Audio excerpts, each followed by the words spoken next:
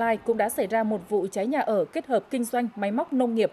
Vụ cháy xảy ra lúc khoảng 4 giờ sáng tại cửa hàng máy móc nông nghiệp, cũng là nhà ở của ông PVI ở đường Trần Hưng Đạo, tổ dân phố 1, thị trấn Phú Túc, huyện Krongpa.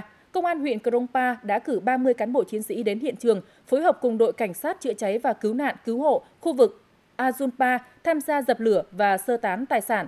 Đến khoảng 5 giờ 50 cùng ngày, ngọn lửa đã được dập tắt hoàn toàn.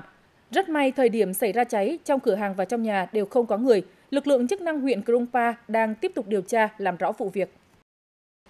Vâng, có thể thấy các vụ cháy gần đây đa số xảy ra tại các khu dân cư, hẻm nhỏ, nhà trọ, khu tập thể cũ, nhà ở kết hợp kinh doanh vân vân. Và thời điểm xảy ra các vụ cháy chủ yếu xảy ra vào thời điểm ban đêm, rạng sáng, dẫn đến việc phát hiện báo cháy và chữa cháy không kịp thời. Ờ, do diện tích nhà ở chật hẹp, xây dựng san sát nhau, ngõ ngách nhỏ hẹp, xe chữa cháy khó tiếp cận hiện trường, gây khó khăn cho công tác chữa cháy và cứu nạn.